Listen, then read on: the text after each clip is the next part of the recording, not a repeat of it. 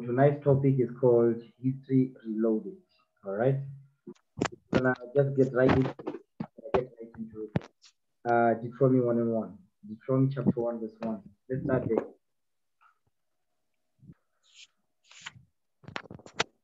The book of Deuteronomy, chapter 1, verse 1. These be the words which Moses spake unto all Israel on this side Jordan in the wilderness, in the plain over against the Red Sea, between Paran and Tophel and Laban, and Hazeroth and Diz, Dizabab. Dizahab. So now, at this point, we are in the wilderness. Okay, we are in the wilderness at this point. All right. So we are with Moses in the wilderness, and Moses, eh, the Lord is using Moses to teach us the law. So what you are seeing here says we are on this other side of Jordan in the wilderness, in the plain over against the Red Sea between Paran, Tophel, Laban, Hazeroth, and Dizahab. Okay, keep- going. Verse two. There are 11 days' journey from Horeb by the way of Mount Seir unto Kadesh Barnea. So now what you are seeing here says it is the 11 days journey from Horeb by the way of Mount Seir unto Kadesh Barnea.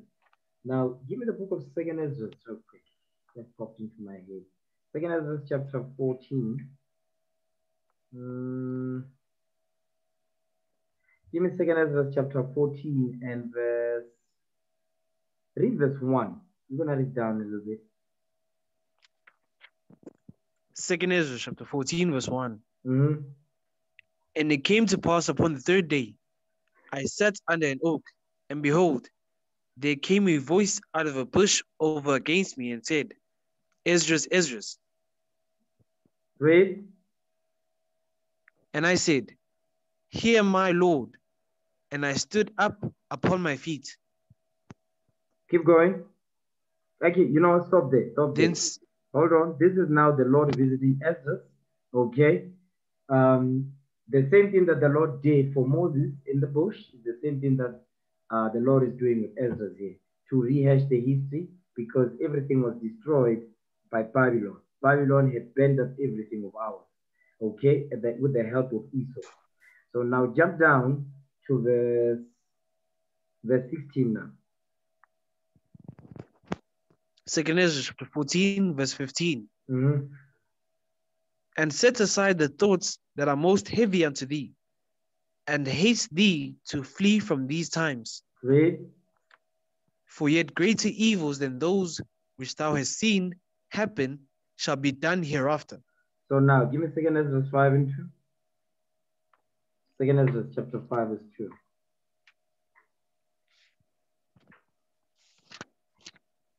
Second Ezra chapter 5, verse 2. Mhm. But iniquity shall be increased above that which now, now thou seest, or that thou hast heard long ago. Read that again, verse 2. Second Ezra chapter 5, verse 2. Mhm. But iniquity shall be increased above that which thou now thou seest, or that thou hast heard long ago. So now the Lord is telling Ezra, listen, sin is going to be increased than you've ever heard it before, or you've ever seen it before. You understand? That's what he's saying. Meaning, in these last days, things are going to get worse and worse as a sign of the last day, as a sign of the Lord delivering us out of what? The hands of our enemies. Okay, now watch this. Go back, Second Ezra, okay? Go back to Second Ezra, chapter 14, verse 16 again. Second Ezra chapter 14, verse 16. For yet greater evils than those which thou hast seen happen shall be done hereafter. So now this is saying this is repeating the same thing over and over. Now jump back up to verse 1. We're going to read verse 1 to verse 2. Second Ezra chapter 14, verse 1. And it came to pass upon the third day, I sat under an oak, and behold, there came a voice out of a bush over against me and said, Esdras, Esdras. Read. And I said, Hear my Lord. And I stood up upon my feet. So now the Lord is paying a, is paying a visit to Ezra over a, in, a, in a bush. He doesn't say burning bush. He just say out of a bush over against me. Okay, watch this. Remember, Ezra is rewriting all the books. He's rewriting the, the books now. Watch this. Give me second Ezra 2. Second Ezra chapter 2, start verse 1. Second Ezra chapter 2, verse 1. Mhm. Thus saith the Lord, I brought this, I brought this people out of bondage, and I gave them my commandments by my servants the prophets, whom they would not hear, but despised my counsels. But despise my counsel. So, so it was back then, so it is today. Okay, jump down to verse 6 now. No, Verse no, six. verse 7. Verse 7, read verse 7. Verse 7 Let them be scattered abroad among the heathen. Let their names be put out of the earth, for they have despised my covenant. because that's exactly what we've done. So when we was put out of the earth, that we went into slavery. That is what Ezra is explaining here at the command of the Father. Now read verse 33 now. Watch this. Verse 31. Start at verse Second 31. Ezra. Second Ezra chapter 2, verse 31. Mhm, Remember thy children that sleep, mhm. for I shall bring them out of the sides of the earth, and show mercy unto them. For I am merciful, saith the Lord Almighty. Read on, keep going. Embrace thy children until I come and show mercy unto them. For my wells run over, and my grace shall not fail. That's the reason why we are waking up this day. Watch this. Come on. I, Ezra, received a charge of the Lord upon the Mount Oreb, Upon the what? that I should go upon the Mount Oreb, The Mount Oreb is Mount Horeb. This is Mount Sinai, Mount Zion. Read that again. Second Ezra chapter 2, verse 33. I, Esdras, received a charge of the Lord upon Mount Oreb, that I should go unto Israel. But when I came unto them, they set me at naught, and despised the commandments of the Lord. So now, what you want to notice here is that when when we left, okay, when we was in the wilderness, what Moses did was that when Moses went, before even we were, before we was even in the wilderness, what happened was that the Lord visited Moses, okay, to give Moses a charge of what he needs to do, which is to deliver the children of Israel out of Egypt, out of captivity.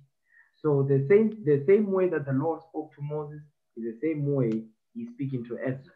Okay, now that's a heavy topic, much heavier topic. But what I want to show you is that where Moses, how the Lord communicated with Moses is how he communicated with Ezra. You understand?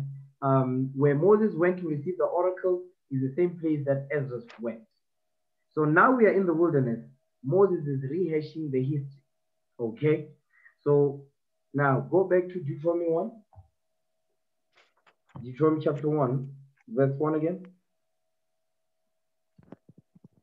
Deuteronomy chapter 1, verse 1.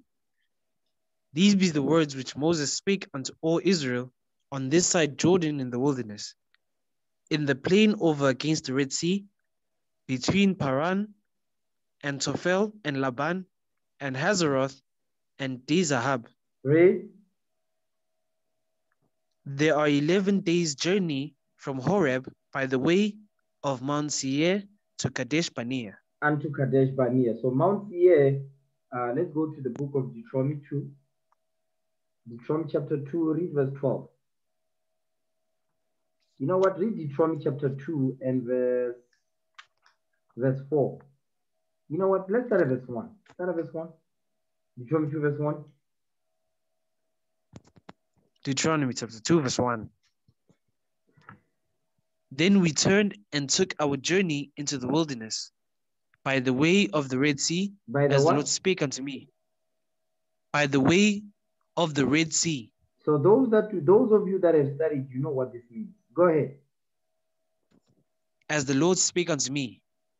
And we and we compassed Mount Seir many days. Mount Seir, Mount Seir. So keep that name, keep that name, keep that name in mind. Go ahead. And the Lord spake unto me, saying, Ye have compassed this mountain long enough. Turn you northward, Read on. and command thou the people, saying, Ye are to pass through the coast of your brethren, the children of Esau, hmm which dwell in Seir, and they shall be afraid of you. Take ye good heed unto yourselves, therefore. So now the Lord is commanding us to listen, you've been here for too long. Okay? He says we come past Mount Seir many days. So the Lord is okay, it's time for you to move on to the next to the next point now. So now he says you are to pass through the coast of your brethren, the children of Israel, which dwelled in Seir. Okay? Jump down to verse 12. Verse 12. The Horims also dwelt in Seir before time. But the children of Esau succeeded them when they had destroyed them from before them, and dwelt in their stead, as Israel did unto the land of his possession, which the Lord gave unto them. So now what he's saying here is that listen, you're gonna pass through because I'm not gonna give you the, the, the, the, land of Mount Seir. I'm giving you the land that I've promised unto your forefathers. So now he's saying you can you can pass through Mount Seir, but you- you're not gonna dwell there. You can you can purchase, you can trade, but you're not gonna dwell there. Okay, so Mount Seir was given to Esau. So now let's go back. Deuteronomy chapter 1, verse 2 again. Deuteronomy chapter 1, verse 2. Read. There are 11 days' journey from Horeb by the way of Mount Seir unto Kadesh Barnea. So 11 days journey from Horeb by the way of Mount Seir unto Kadesh Barnea. So what you want to notice here is Horeb is Mount Zion, okay? Mount Seir, 11 days journey apart unto Kadesh Barnea. Go ahead. And it came to pass in the fortieth year, in the eleventh month, on the first day of the month, that Moses spake unto the children of Israel, according to all that the Lord had given him in commandment unto them. Go ahead. After he had slain Sihon, the king of the Amorites, which dwelt in Heshbon, and Og, the king of Bashan, which dwelt at Ashtaroth in Edrei. So now what we're reading here is, um, hold this, give me the book of Genesis 15. Genesis chapter 15, verse 16. Um, we're gonna start, start at verse, Genesis 15 and verse, yeah, start at, read verse 13. Genesis 15, verse 13. Genesis chapter 15, verse 13. Mhm. And he said unto Abram, Know of a surety that thy seed shall be a stranger in a land that is not theirs, and shall serve them, and they shall afflict them four hundred years. So now the Lord is giving Abraham a vision of what will happen to his seed. You understand? He says, You're going to be slaves for 400 years. Okay, you're going to be afflicted as slaves for 400 years. Read on. And also that nation, whom they shall serve, will I judge, and afterward they shall come out with great substance. Read. And thou shalt go to thy fathers in peace. Thou shalt be buried in a good, in a good old age. Go ahead. Come on. But in the fourth generation, they shall come hither again, for the iniquity of the Amorite is not yet full. Read verse 15 again. Genesis chapter 15, verse 16. Read. But in the fourth generation, they shall come hither again, for the iniquity of the Amorites is not yet full. So now the Lord is telling Abraham, so he's in the fourth generation. He says, What's going to happen? He says, They shall come hither again, meaning what? Abraham's seed. For the iniquity of the Amorites is not yet full. So now the Lord, what was the Lord saying? Watch this. Give me the book of Revelation, chapter 18. Revelation chapter 18 and verse. Revelation 18, we're going to read verse 1, then we're going to jump. Read verse 1. Revelation chapter 18, verse 1. And after these things, I saw another angel come down from heaven, having great power, and the earth was lightened with his glory. Read that again. Revelation chapter 18, verse 1. Go ahead. And after these things, I saw another another angel come down from heaven, having great power, and the earth was lightened with his glory. Read on. And he cried mightily with a strong voice, saying, Babylon the Great is fallen, is fallen and is become the habitations of devils, and the hold of every foul spirit, and a cage of every unclean and hateful bird. So now this is the destruction of Babylon. Now jump down to verse 5 now. Verse 5 For her sins have reached unto heaven, and God hath remembered her iniquities. You see that part when it says, For her sins have reached unto heaven, and God hath remembered her iniquities. Because at this point, guess what? America's sins had reached to a point where now it's time for the Lord to bring forth judgment on this earth. So likewise, what we read, go back to Genesis 15 now. Verse 16 again.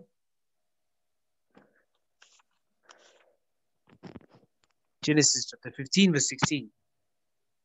But in the fourth generation they shall come hither again, Mhm. for the iniquity of the Amorites is not yet full. So at this point, the judgment, the, the sins of the Amorites have not reached to a point where they could be destroyed. So guess when they were going to be destroyed? In the fourth generation of Abraham's seed. So now let's go back. Let's go to Deuteronomy chapter 1, verse 4 again.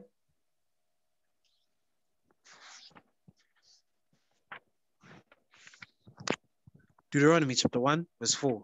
Read. After he had slain Sihon, the king of the Amorites, which dwelt in Heshbon, and Og, the king of Bashan, which dwelt at Ashtaroth in Edrei. So now, what we're reading here, when it says, after he had slain Sihon, king of the Amorites, guess what? This history right here, if you are studying, you will know what this is making reference to. Those of you brothers and sisters are not, you're not studying, you have no idea what we are reading. Keep going, verse 5, come on. On this side Jordan, in the land of Moab, began Moses to declare this law, saying, So in the land of what? On this side Jordan, in the land of Moab, Come on. began Moses to declare this law, saying, So now he says in the land of Moab, because we had to go and conquer Moab. You understand? We had to go and conquer Moab. Now watch this. Keep reading. Verse 6. The Lord our God spake unto us in Horeb, saying, Ye have dwelt long enough in this mount. That's the same thing we just read in chapter 2. Go ahead. Turn you and take your journey, and go to the mount of the Amorites, Mhm. and unto all the places nigh thereunto, in the plain, in the hills, and in the vale, In the and in the south, in the valley, Mhm. and in the south, and by the seaside, to the land of the Canaanites, and unto Lebanon, unto the great river, the river Euphrates. Okay, so now the Lord is describing what? He's describing the promised land to us. Okay, go back. Give me that in Deuteronomy chapter 11. He's describing the promised land to us, the landmass of the promised land. Okay, Deuteronomy chapter 11, verse 21. Let's start there. Deuteronomy chapter 11, verse 21. Mhm. That your days may be multiplied, and the days of your children in the land which the Lord sware unto your fathers to give them, as the days of heaven upon the earth. So the days of heaven, because that's gone, that landmass is there, that's where the capital of the earth will be. Go ahead. For if ye shall diligently keep all these commandments which I command you, to do them, to love the Lord your God, to walk in all his ways, and to cleave unto him, So now this is the stipulation right here. If you keep the commandments, this is what's going to happen. Jump down to verse 24. Verse 24 Every place whereon the soles of your feet shall tread shall be yours, from the wilderness and Lebanon, from the river, the river Euphrates, even unto the uttermost sea shall your coast be. So now what the Moses is explained, the same thing that we just read is the same thing that is being explained here. He's explaining the land mass of the land of Israel. You understand? And this is the country that we must seek on a day-to-day basis. We must pray towards this land for the Lord to deliver us into the homeland and deliver us out of the hands of our enemies. Okay, go back to Deuteronomy chapter 1, verse 7 again. Deuteronomy chapter 1, verse 7. Mhm. Turn you and take your journey, and go to the mount of the Amorites, and unto all the places nigh thereunto, in the plain, in the hills, and in the valley, and in the south, and by the seaside, to the land of the Canaanites, and unto Lebanon, unto the great river, the river Euphrates. Come on. Behold, I have set the land before you. Go in and possess the land which the Lord sware unto your fathers, Abraham, Isaac, and Jacob, to give unto them and to their seed after them. So now I want you to notice something. You see verse 8. Verse 8 is a heavy verse right here. Okay, read that again. Verse, verse 8. Deuteronomy chapter 1, verse 8. Go ahead. Behold, I have set the land before you. Go in and possess the land which the Lord sware unto your fathers, Abraham, Isaac, and Jacob, to give unto them and to their seed after them. So now the Lord is commanding us, to listen, go in and possess the land which the Lord sware unto your fathers. Remember, the Most High God is the only one that can do that thing. Watch this. Give me the book. Give me the book of Matthew chapter 5 verse 37. Matthew 5 verse 37. Which the Lord swear unto your fathers. You understand? He swear the land unto our fathers, Abraham, Isaac, and Jacob, to give to them and to their seed after them. That's heavy right there. Matthew 5, verse 37. See what you got? Matthew chapter 5, verse 37. Mhm. But let your communication be, yea, yea, nay, nay. For whatsoever is more than these cometh of evil. So now he's talking about us. This is a commandment regarding us. He says, Let your communication be yea, yea, nay, nay. For whatsoever is more than these cometh of evil. Meaning what? Don't swear.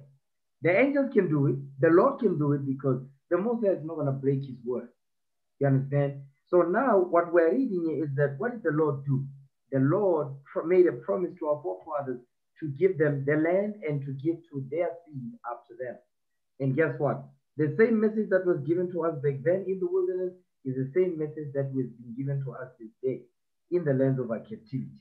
He says, Go in and possess the land which the Lord sware unto your fathers, Abraham, Isaac, and Jacob, to give unto them and to their seed after them. Watch this. Give me, give me the book of Romans, chapter 4. Romans chapter 4, real quick.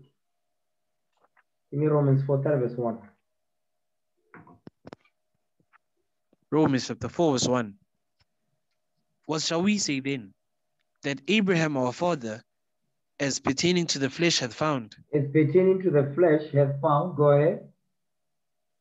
For if Abraham were justified by works, he hath whereof to glory, but not before God. If Abraham was justified by works, but because Abraham had great faith, you understand, he had great faith, our forefather Abraham. Go ahead. For what saith the scripture? Abraham believed God, He did what? and the, Abraham believed God, So our forefather, he believed, he had, a, he had great faith, our forefather Abraham. Go ahead. Abraham believed God, and it was counted unto him for righteousness. It was counted unto him for righteousness. Watch this. Go ahead. Now to him that worketh is the reward not reckoned of grace, but of debt, But of what? but of debt. But of, of the promise that the Lord made to Abraham, the oath. Read. But to him that worketh not, but believeth on him that justifieth the ungodly, Read. his faith is counted for righteousness. Go ahead. Even as David also describeth the blessedness of the man, unto whom God imputeth righteousness without, uh, without works, Let's talk about Abraham, our forefather Abraham. Go ahead. saying, Blessed are they whose iniquities are forgiven, and whose sins are covered. Come on, who repent? Read. Blessed is the man to whom the Lord will not impute sin. Read. Cometh this blessedness then upon the circumcision only, or upon the uncircumcision also? For we say that faith was reckoned to Abraham for righteousness. Because Abraham performing the, the, the covenant of circumcision that was given to him was a seal of his faith. Read. how was it then reckoned when he was in circumcision or in uncircumcision? So the Apostle Paul is asking the question, was he reckoned, you understand, in terms of his, his faith based on uncircumcision or in circumcision? He says, when was when he was in circumcision or in uncircumcision? He was in uncircumcision. He was not circumcised. Okay, go ahead. Not in circumcision, but in uncircumcision. Next verse. Go ahead. And he received the sign of circumcision, a seal of the righteousness of the faith which he had yet being uncircumcised, that he might be the father of all them that believe, He might be what? That he might be the father of all them that believe, He might be the father of all them that believe. Go ahead. though they be not circumcised, that righteousness might be imputed unto them also. That you see that thing that righteousness righteousness might be imputed unto them. also them? Abraham's seed. Go ahead.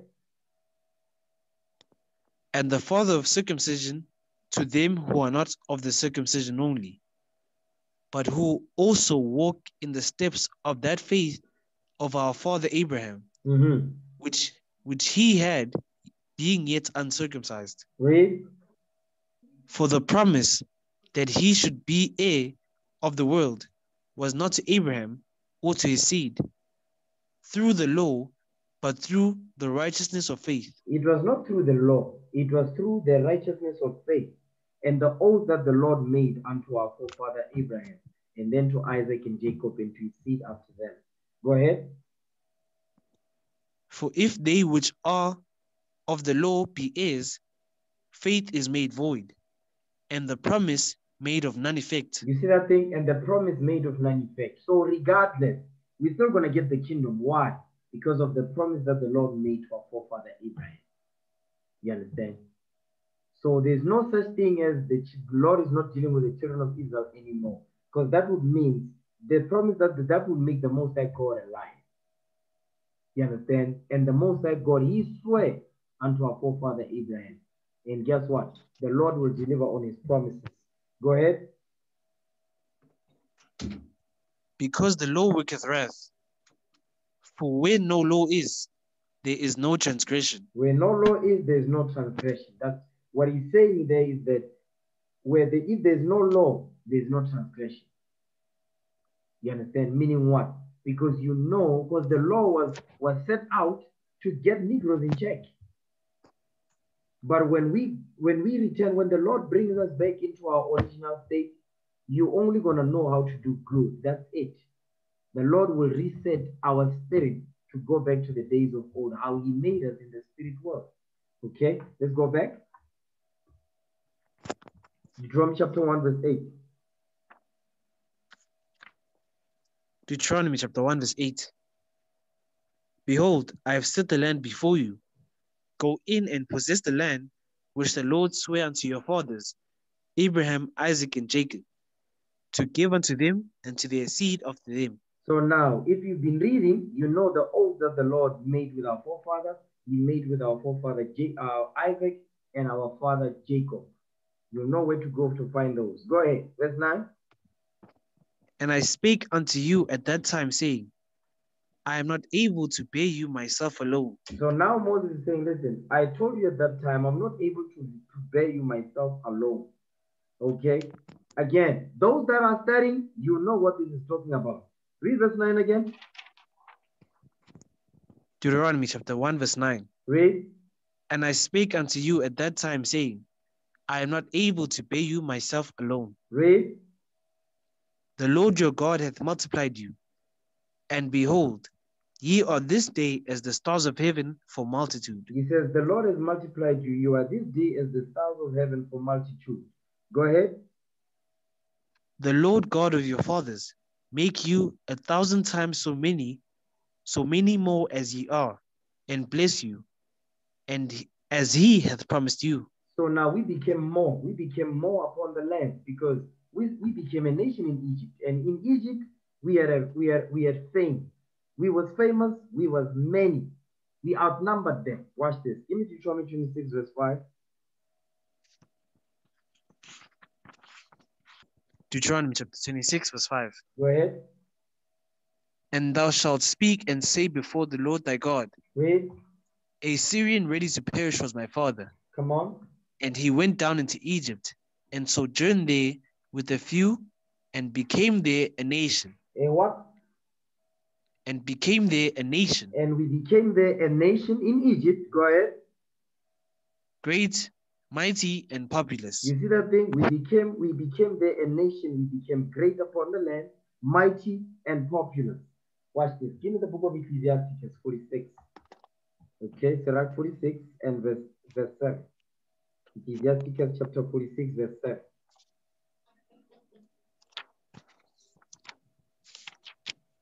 Ecclesiasticus chapter 46, verse 7. Read. In the time of Moses also, he did a work of mercy. He and Caleb the son of Jephthah. Jephthah, in that they withstood the congregation and withheld the people from sin and appeased the wicked murmuring. Read, because our people was complaining in the wilderness. Read on. And of 600,000 people on foot, they too were, pre- were preserved to bring them into the heritage, even unto the land that floweth with milk and honey. So now you see what the Lord is saying? He says 600,000 on foot.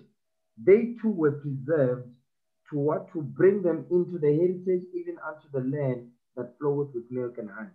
So this 600, when it says 600 people on foot, is talking about these are the children now. Okay, you've got Caleb, you've got Joshua, then you've got who? You've got the children.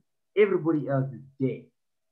Okay, that's why it says they were brought into the heritage, even unto the land that floweth with milk and honey.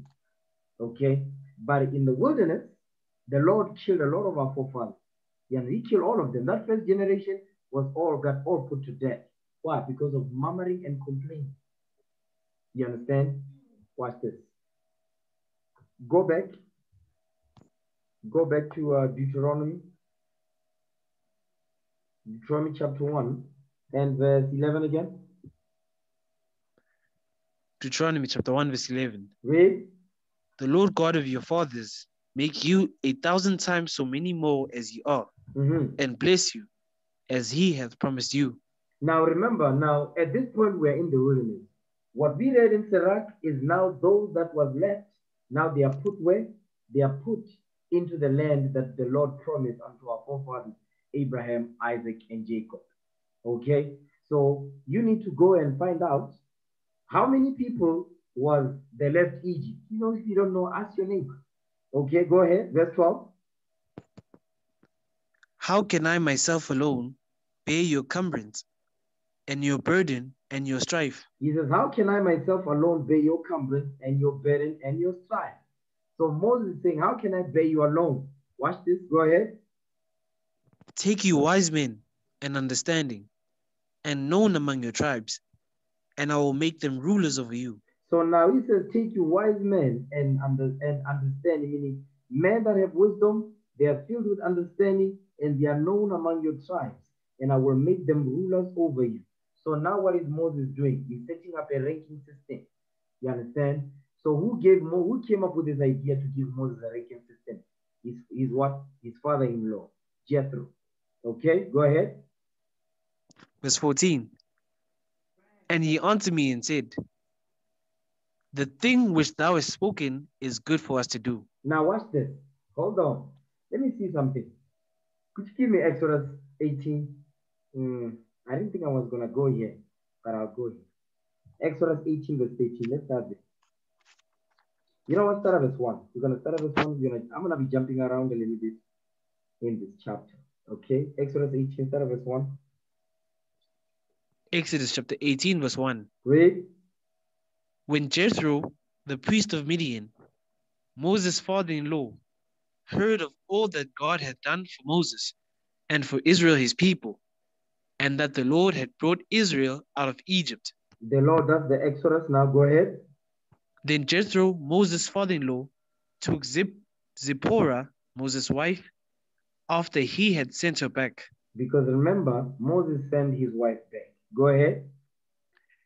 and her two sons, of which the name of the one was Gershom, for he said, I have been an alien in a strange land. Read.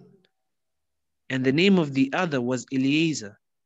For the God of my father, said he, was mine help, and delivered me from the sword of Pharaoh. So now jump down to verse. Read, uh, keep reading. Read verse 5. Verse 5 And Jethro, Moses' father in law, came with his sons and his wife unto Moses into the wilderness, where he encamped at the mount of God. What is the Mount of God? Mount Horeb, Mount Zion. So now, what we're reading here is what we read in Deuteronomy chapter 1, verse 1. Okay? So now Moses' father-in-law is bringing his wife and his, his, his, his, two, his two children. Let's jump down to verse 13 now.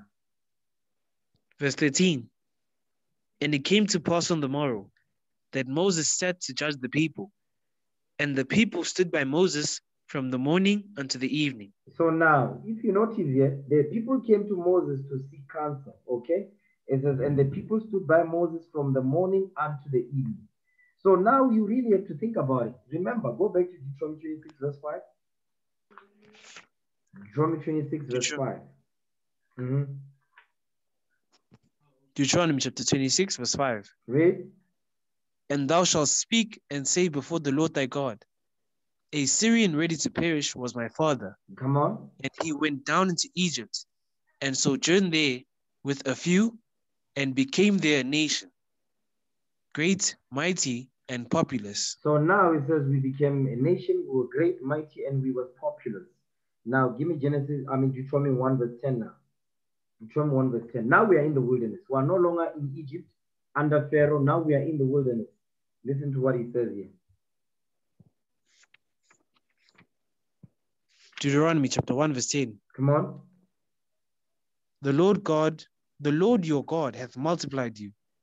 And behold, ye are ye are this day as the stars of heaven for multitude. He says, Yeah, this day as the stars of heaven for multitude, meaning what? You can't number us at this point. We are more now. You understand? Okay. Go back to Exodus 18, verse 13 again.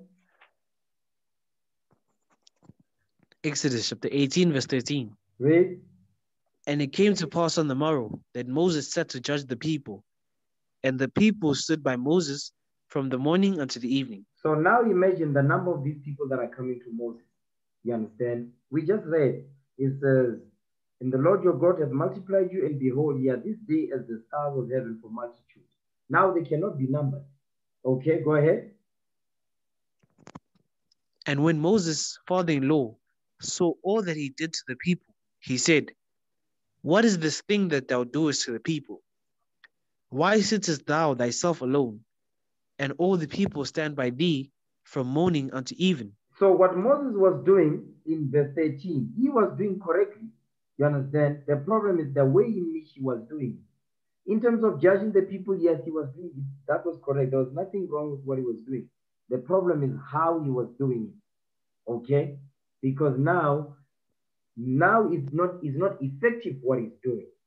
Although he's judging the people, giving them counsel, but it's not effective. Next part of the verse. Go ahead. Verse 15 And Moses said unto his father in law, Because the people came to me to inquire of God, Read.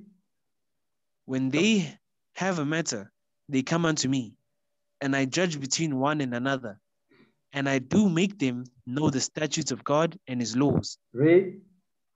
Verse 17 And Moses' father in law said unto him, The thing that thou doest is not good. Mm-hmm. Thou wilt surely wear away, both thou and this people that is with thee. For this thing is too heavy for thee. Thou art not able to perform it thyself alone. So now Moses' father-in-law is watching this and says, this thing is not going to work out in the long run.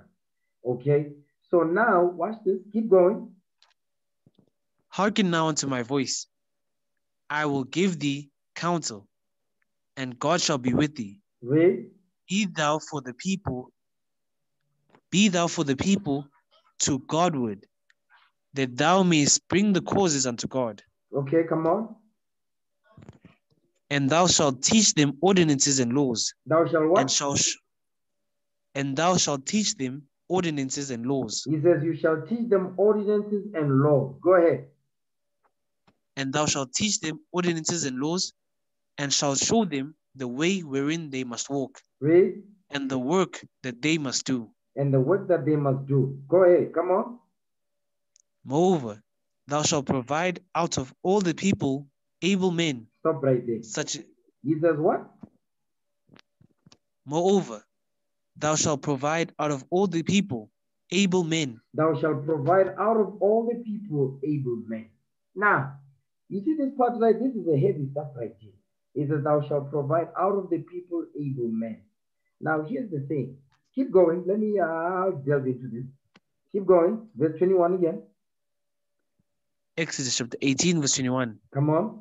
Moreover, thou shalt provide out of all the people able men, such as fear God, men of truth, hating covetousness, and place such over them to be rulers of thousands, and rulers of hundreds, and rulers of fifties, and rulers of tens. Stop right there. Now, you see that part there? It says, uh, this is the qualities now. It says, uh, able men, such as fear God, men of truth, hating covetousness, and place such over them to be rulers over thousands, rulers of thousands, rulers of hundreds, rulers of fifties, and rulers of tens. Now, you really have, you have to sit down really to picture this thing because the Lord is going to send multitudes into the camp. He's coming. Now, what you want to notice here is that it says able men, such as fear God, men of truth, hating covetousness. Watch this. Give me the book of Second Samuel, chapter 23, verse 4. Second, start verse 3. Second Samuel 23, verse 3. Second Samuel chapter 23, verse 3. Go ahead. The God of Israel said, The rock of Israel spake to me, Mhm. He that ruleth over men must be just, ruling in the fear of God. You see what the Lord is saying? He says, He that ruleth over men must be just, ruling in the fear of God. Ruling in the fear of God. You must be just. Give me that in Ezekiel chapter 18, verse 5. Ezekiel chapter 18, verse 5. Read. But if a man be just and do that which is lawful and right, You see that thing? If a man be just and do that which is lawful and right, in order for you to do that which is lawful and right, guess what you have to be doing? You have to go into the scriptures to seek where the law is found and read it and apply it. There's no way you're just gonna be just by osmosis. That's not gonna happen. You have to come, you have to go into the scriptures and study. Consistently study. You understand? You do four chapters minimum so, in order for you to be able to judge the people with just judgment, it's not going to happen if you don't study this book. It's not going to happen if you don't study the scriptures. And you brothers, you say you want to be leaders. Guess what? A lot of you, you are not ready. A lot of you, this place is a place to hang out. A lot of you, you don't take this seriously as you're supposed to. Okay? Listen, there's a lot, there's a lot of changes that are coming. So I need you men to understand this thing. Because a lot of you are in La La Land. You think this is a you know you you you, yeah yeah the shy pushes car. No no this is not the place to push small work. That's not the place for it. Okay, we are at war. I need able men, as the Lord is saying. Able men. Okay, such as fear God, men of truth, hating covetousness, rulers over rulers of hundreds, rulers of fifties, and rulers of tens, of thousands. So guess what? Go back to Second Samuel 23, verse 3 again. Second Samuel chapter 23, verse 3. Read. The God of Israel said, The rock of Israel spake to me, He that ruleth over men must be just, ruling in the fear of God. You see what the Lord is saying? He that ruleth over men must be just, meaning what? You must do that which is lawful and right. Do according to the scripts, as it is written, ruling in the fear of God. Next verse. Watch this. And he shall be as the light of the morning, when the sun riseth, even a morning without clouds, Mhm. as the tender grass springing out of the earth by clear shining by clear shining of the rain. Meaning what? The Lord says, I'm going to put wisdom and understanding upon your spirit. I'm going to put wisdom and knowledge and understanding upon your spirit. Okay, watch this. Hmm. Go back. Exodus 18. Exodus 18, verse 21 again. Exodus chapter 18, verse 21. Read. Moreover, thou shalt provide out of all the people able men, such as fear God, men of truth, hating covetousness, and place such over them to be rulers of thousands, and rulers of hundreds, rulers of fifties, and rulers of tens, Come on. and let them judge the people at all seasons. And it shall be that Hold on. every great matter, It says, let them what? and let them judge the people at all seasons. Let them judge the people at all seasons. Watch this. Give me Second Timothy 4, verse 2. Second Timothy chapter 4, verse 2. Let them judge the people at all seasons. Watch this. Second Timothy chapter 4, verse 2. Mhm. Preach the word, be instant in season, out of season. Mhm. Reprove, rebuke, exhort with all long, long suffering and doctrine. You see what the Lord is saying? It says instant in season, out of season. Whether they're gonna want to hear it or not, whether it's your friend or not, whether you grew up together, you're gonna judge the people in season, out of season. You're not gonna what? You're not gonna be partial when you make the judgment. That's why a lot of you, you are not a lot of all of you are not ready for this stuff. Okay, you're not ready. You are not ready to be leaders yet because a lot of you you are still operating like you are still sucking on your mother's breast. Tell you straight up. Okay? We are at war. You brothers don't study. You just like it when you are out there be pulling precepts that you don't even understand the history behind the precepts. This is to train you, but behind that, the, the idea is you sit down, you study. Okay? Let me calm down. Go back to Exodus 18, verse 22.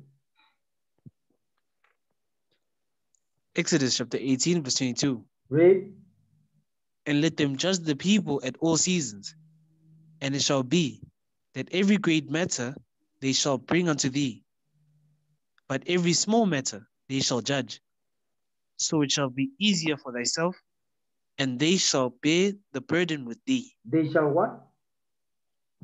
And they shall bear the burden with thee. You see what the Lord is saying? The reason why I, am setting up a ranking system so that you brothers can bear this burden with me because this is not an easy job. You understand? And this is how our forefathers did things. They delegated for what?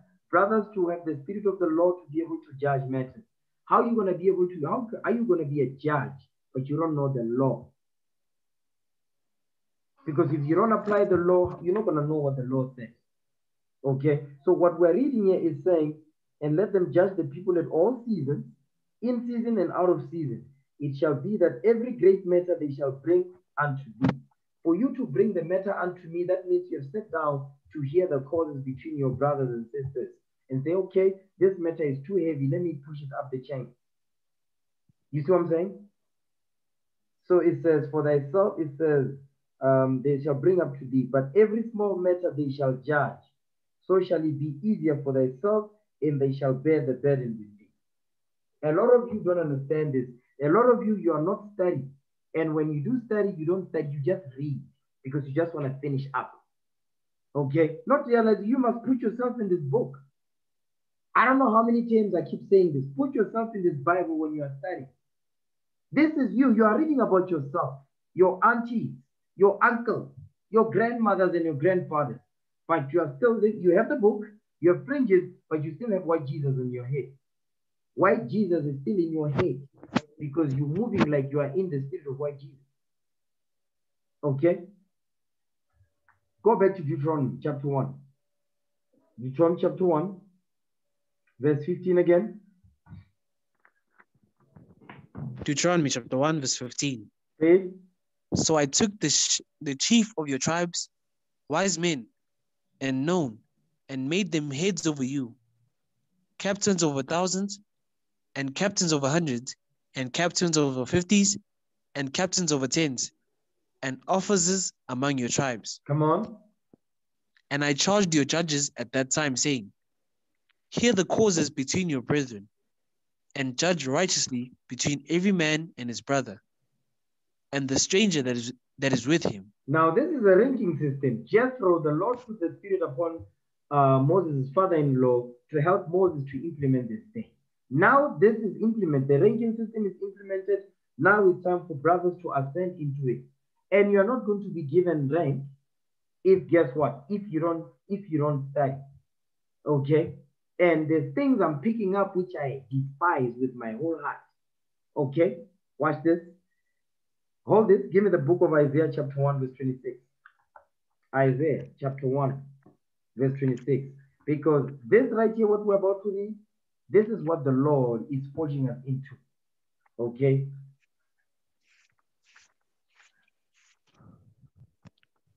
Isaiah chapter 1, verse 26. And I will restore thy judges as at the first, and thy counselors as at the beginning. Afterward, thou shalt be called the city of righteousness, the faithful city. So what you are seeing here says, I will restore thy judges as at the first. That's what we are just reading in Deuteronomy 1. The Lord says, I'm going to restore thy judges as at the first, and thy counselors as at the beginning. Afterwards, afterwards, you understand? The afterward is going to happen. The only time when the afterward will happen is when the Lord does this restoration of the judges, you understand, and counselors. These judges, what are they going to do? They're going to set the people in order according to the scriptures. Men will be set in order, women will be set in order, the whole nation will be set in order because the Lord will restore unto us the judges of old, the counselors of old. He says, afterward, go ahead. Afterward, thou shalt be called the city of righteousness, the faithful city. Because right now, the nations, the nations are not calling us that. The nations are not calling us the city of righteousness. They are not calling us the, feast, the faithful city. They are calling us niggers and kafirs. That's what they call.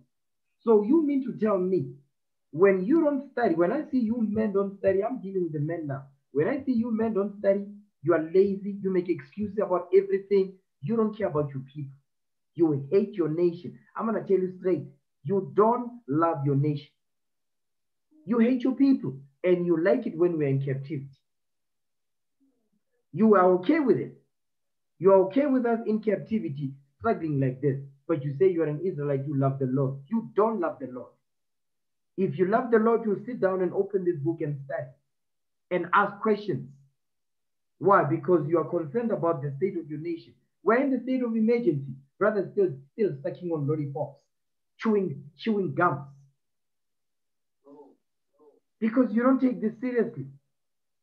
Okay? You don't take it seriously as you say as you convince yourself that you do. So it's just cool to be an Israelite. No, this is not a place for it. There's Christian churches at every corner. Go there. Why be here? Okay? Go back to where was that now? Keep reading. Read the next verse. Zion shall be redeemed with judgment, and her converts with righteousness. You see that thing? Her converts with righteousness.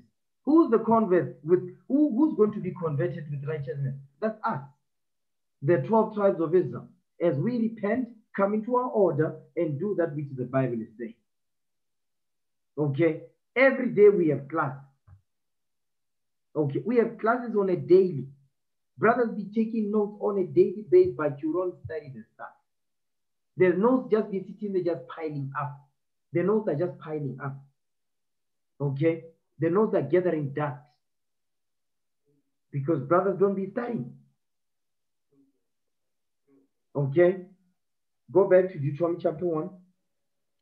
Deuteronomy chapter 1 and verse, verse 16 again. Deuteronomy chapter 1, verse 16. And I charged your judges at that time, saying, Hear the causes between your brethren, and, and judge righteously between every man and his brother, and the stranger that is with him. Read. Ye shall not respect persons in judgment, but ye shall hear the small as well as the great. Ye shall not be afraid of the face of man, for the judgment is God's, Mm. and the cause that is too hard for you, bring it unto me, and I will hear it. That's the same thing. That's the same thing we just read. You understand? The same thing we read in Exodus 18, the same thing. So Moses says, You shall not respect the person in judgment, but you shall hear the small as well as the great, the small matters and great matters. He says, You, not, you shall not be afraid of the face of man. You know what this is talking about? It talks about you brothers that are stubborn. You understand? You be told the same thing over and over. You don't correct it. And guess what? A lot of you have talked to you about the same thing over and over, and it just keeps coming up because you don't correct it. Guess what? The day when the Lord decides, you know what, I'm sick of this guy. Guess what's going to happen? None of us are going to be able to do anything about it. And on that day, you'll be begging for mercy, and the Lord not going to hear it. On that day, to whom much is given, much is required. Okay. Next verse. And I commanded you at that time all the things which which ye should do. Now watch this. Now I want to show you something. I want to show you something here. Give me the book. Hmm. Give me the book of um, give me Second Samuel 24, verse 1. Second Samuel chapter 24, that verse 1. Second Samuel chapter 24, verse 1. Read. And again the anger of the Lord was kindled against Israel. And he moved David against them to say, Go, number Israel and Judah. So he's telling David, so the spirit of the Lord, meaning what? Satan, the evil spirit that the Lord sent, he sent this evil spirit to David to do what? To number Israel. He says, Go, number Israel and Judah. Now watch this. Because he's not supposed to do that. Okay, he's not supposed to be numbering Israel. The people that were given the authority to number Israel was the Levites. If you read the book of Leviticus, if you read the book of Numbers, you'll know what I'm talking about. Okay, so the Levites are the ones that are allowed to number Israel. Okay, so now David is doing it. Watch this. Give me Second Chronicles now. Now give me First Chronicles 21, verse 1. First Chronicles 21, verse 1. First Chronicles 21, verse 1. And Satan stood up against Israel and provoked David to number Israel. You see what you see who, who provoked David? The Satan did that. The Lord allowed Satan to provoke David, King David, to number Israel. Okay, now watch this. Go back to 2 Samuel 24, verse 1 again. Second Samuel chapter 24, verse 1. And again, the anger of the Lord was kindled against Israel, and he moved David against him to say, Go, number Israel and Judah. Now jump down to verse 10. Watch this. Now, you can read the whole history on your own here, but what's going to happen is David is going to now, the, the, the, his mind is going to return back. His spirit is going to come back. He's going to realize what I've done. Listen, I've made a grave mistake. Okay, come on, verse 10. Verse 10. And David's heart smote him after that he had numbered the people.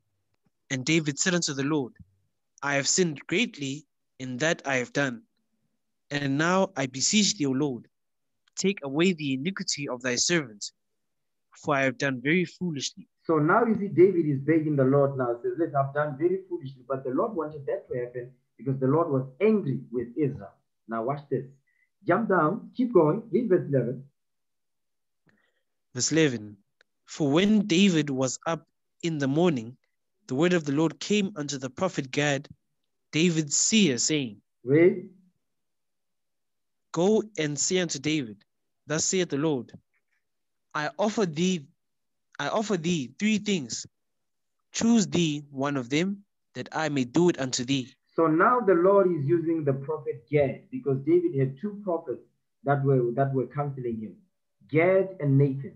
Okay, so now the word of the Lord is coming through the prophet Gad to tell David, listen, choose the three things the Lord is saying, and whichever one you choose is the one that I'm going to use to judge Israel with. Next verse. Go ahead. So Gad came to David and told him, and said unto him, Shall seven years of famine come unto thee in thy land? Or wilt thou flee three months before thine enemies while they pursue thee, or that there be three days of pestilence in thy land. Now advise and see what answer I shall return to him that sent me. So now watch this. Now the Lord is giving me three options. He says seven years of famine, three months on the run, or three days of pestilence. Okay, watch this. Come on. And David said unto Gad, I am in great I am in great strait. Meaning, meaning what? It says, listen, I'm be, I'm sitting between like you know a rock and a hard place. You're putting me in a corner here. Okay. He says, I'm in great strait. He saying, go ahead. Let us fall now into the hand of the Lord, for his mercies are great, and let me not fall into the hand of man. Next verse. Go ahead. So the Lord sent a pestilence upon Israel from the morning even to the time appointed. Read verse 15 again. Second Samuel chapter 24, verse 15.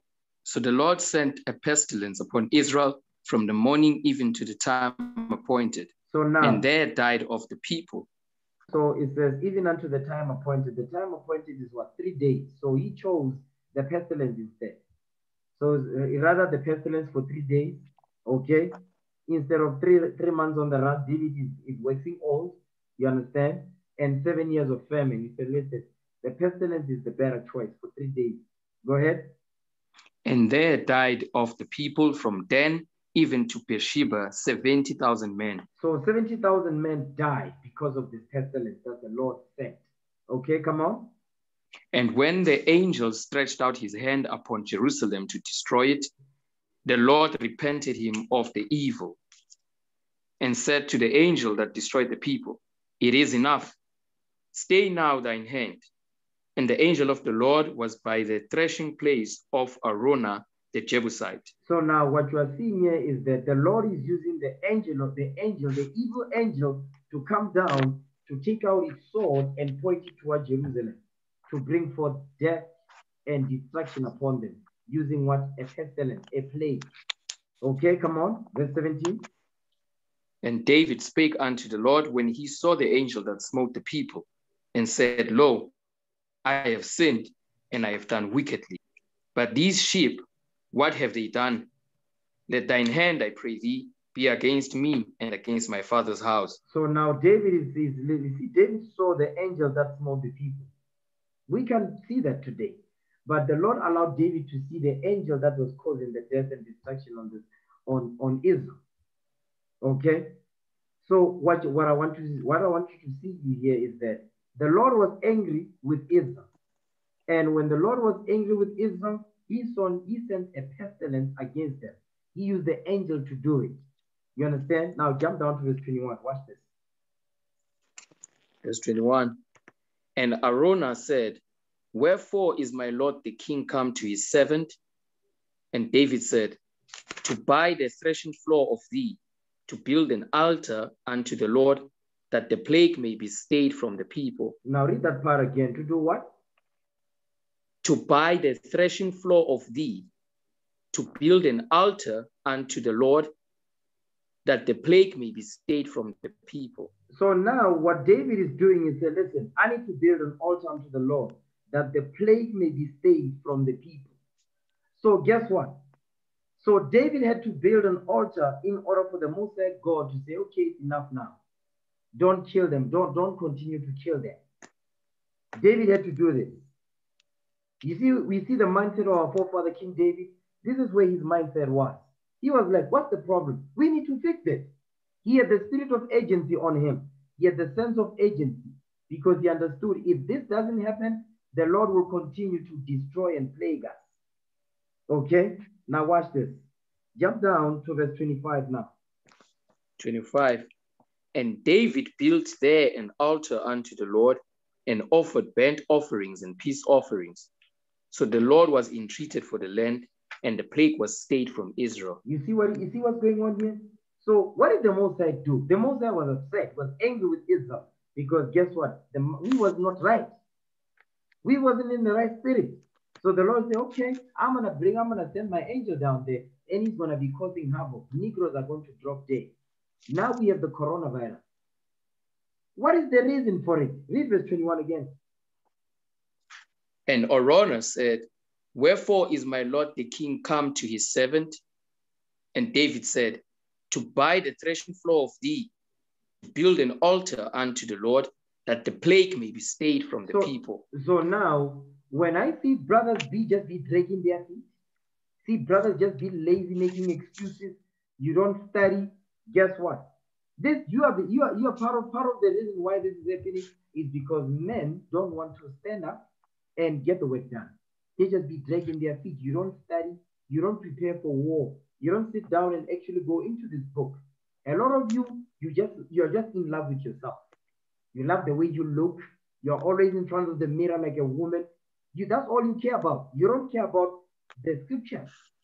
What is written in this book to apply it, to deliver our people out of captivity. So now look what the Lord is doing now. That means the angel is the sword is still out. Because now we look at the corona numbers now, they are going up. We're on level three.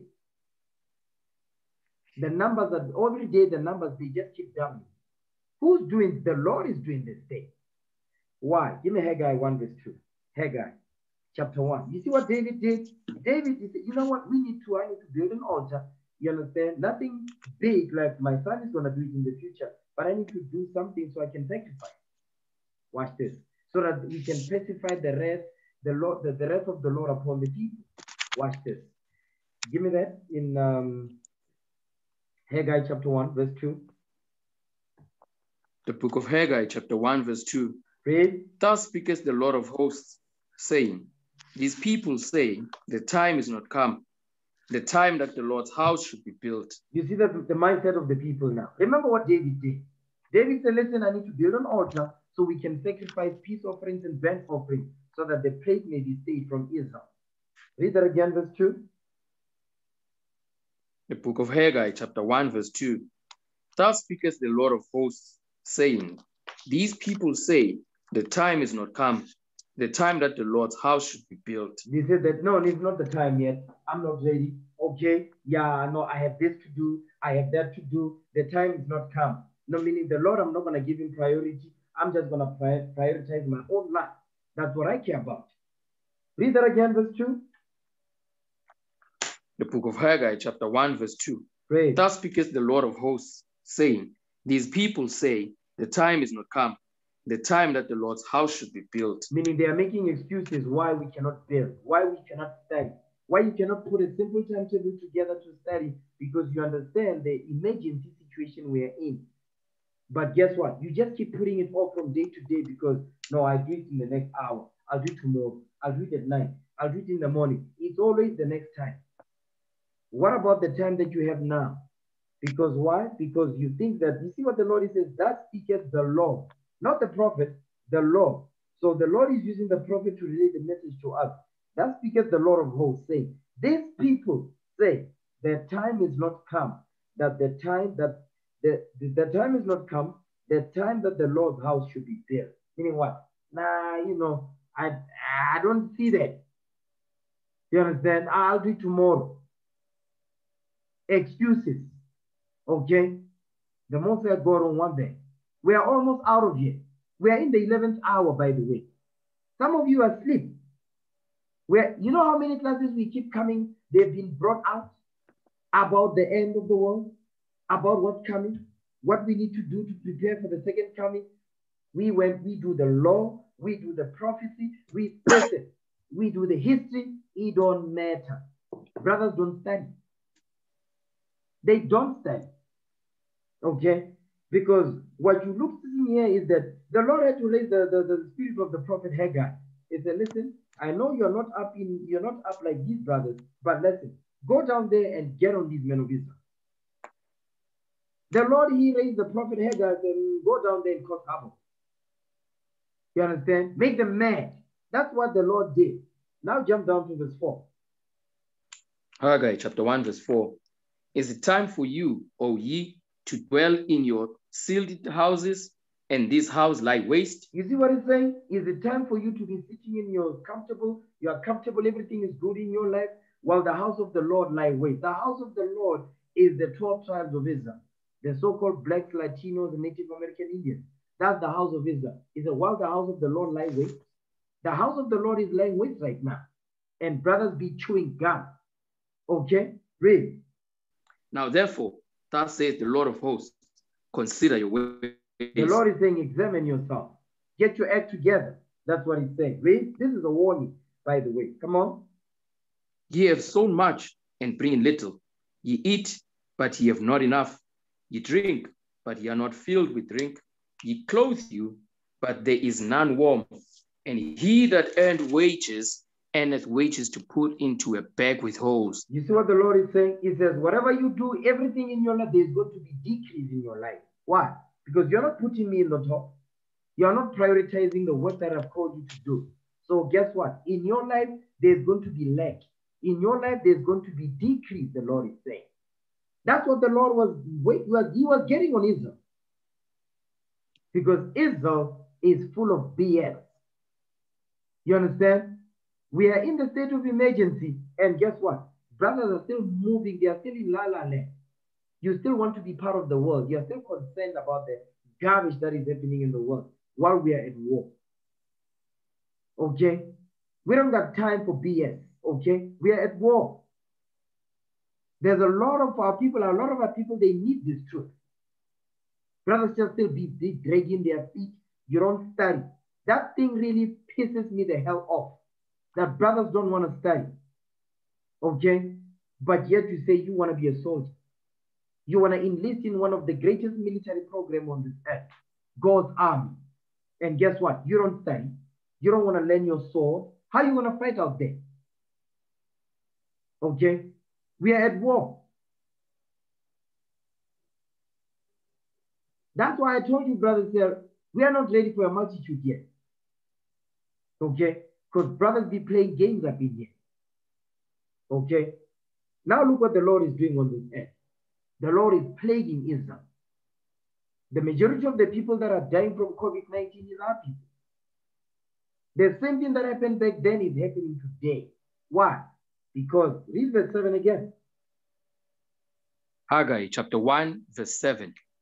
Thus saith the Lord of hosts, consider your ways. Consider your ways, the Lord is saying, meaning examine yourself, get it together. Okay? That's what the Most High God is saying. Say, get it together because you are asleep. You understand? That's why, that's why, this is the reason why I see a lot of you brothers, your mind is not correct. Okay? Everything is a joke to you. Everything is play, play with you. Why? Because you don't take this serious. You know why you don't take this serious? Because you don't study.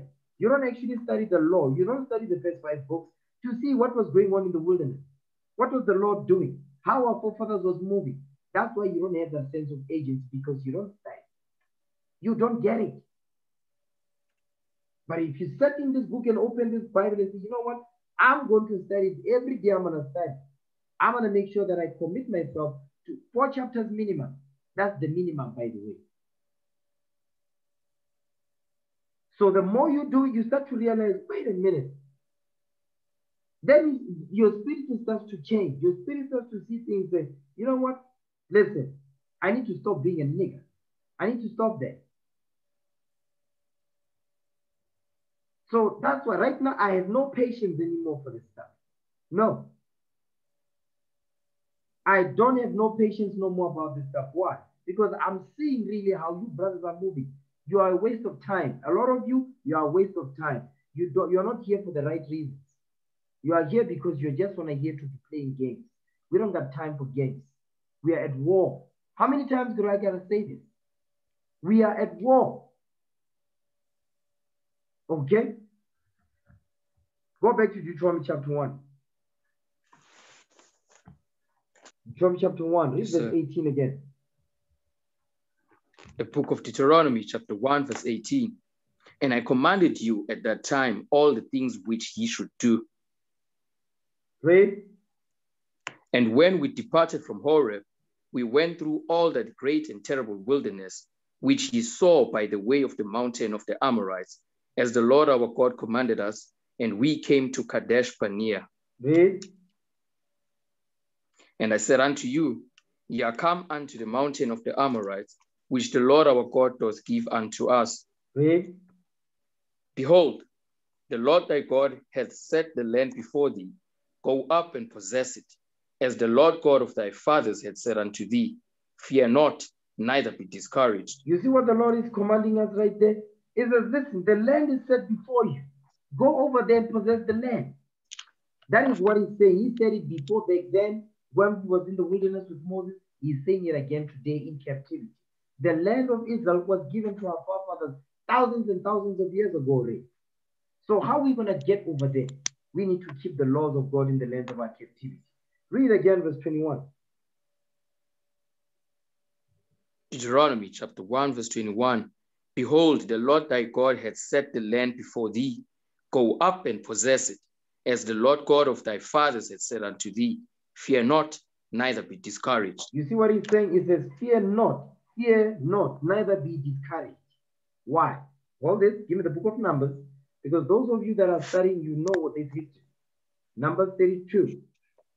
Okay, Numbers 32. Let's start at verse 1. Because there was some evil stuff that was going on at this point. Israel didn't want to go over there get the land. Because at this point, we're in the wilderness, we need to get inheritance of land. But you had some tribes that were not, they were not in the right spirit. The same spirit that was giving Moses hell is the same spirit that was giving Joshua hell. Joshua had to get on Israel. And guess what Joshua was doing? When Israel was out of order, Joshua was killing them. That's what Joshua was doing in the wilderness. When Israel was out of order, he didn't negotiate, he didn't listen. He put Negroes to death with a sword. That's what Joshua did. Okay? Read it. Numbers 32, verse 1. The book of Numbers, chapter 32, verse 1. Now the children of Reuben and the children of Gad had a very great multitude of cattle. And when they saw the land of Jazer and the land of Gilead, that behold, the place was a place for cattle. Now this is Gad and Reuben now. Okay, they had a lot of cattle. Come on.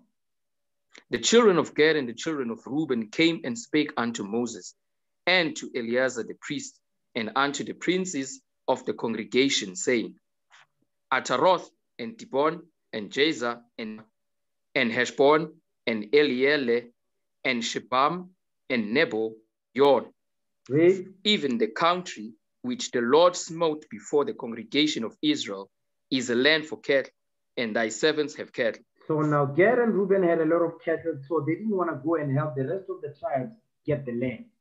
They didn't want to go over. Okay, come on.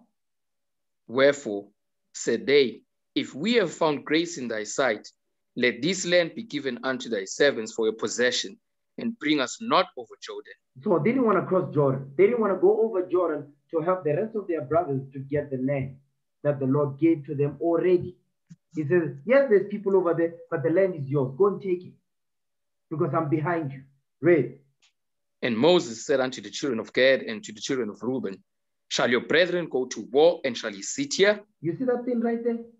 So here's another thing, because you might think, no, but I go to camp. No, no, no, no, no, no.